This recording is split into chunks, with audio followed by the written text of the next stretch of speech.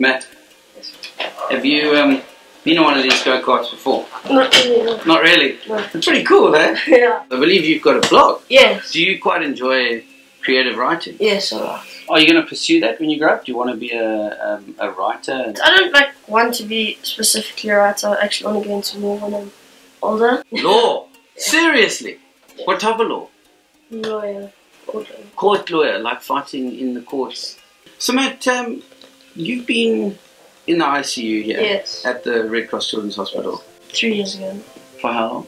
For about five days. Five days. Yes. Do you remember much of the experience? Not really. I was in a coma at the time. So. How do you feel that experience impacted on you?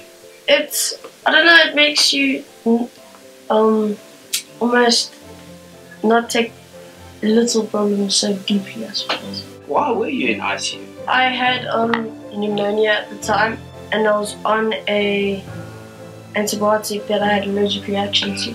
I believe it's it's cystic fibrosis. Yes. I see on the side of your blazer here, Chester House. Yes. And, and what does it say underneath it? um, courage inspires. That's the motto. And that sounds like it should be your personal motto. It sounds like you inspire a lot of people through your Um, courage. I suppose I've never really thought about it that way. You've never really thought about it? Okay. I think you're being a little bit humble, so I'm going to ask your mom, Natalie, to come and join us. Natalie, tell us about just how courageous Matt actually is. He is a very courageous boy. You know, he just takes life in his stride, does everything everybody else does. But he, you know, his life is different. He's got a lot of extra things and extra Mm. challenges and worries than, than other kids. What about you, mom? You, you as as a parent, how's the experience of him going into ICU? In South Africa, there's not many people that know about cystic fibrosis or know how to treat cystic fibrosis properly. So the Red Cross has been really a lifeline for us. We really felt like he was in the best hands.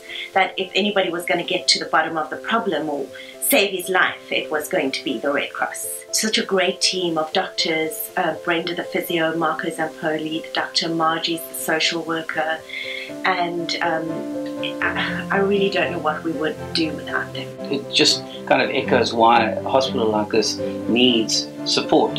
Matt, in terms of law, you do know there's a lot of big words, eh? Yes. What are some of the big words that you have? Cystic fibrosis, Pulmozyme, ventilator, nebulizer, pseudomonas.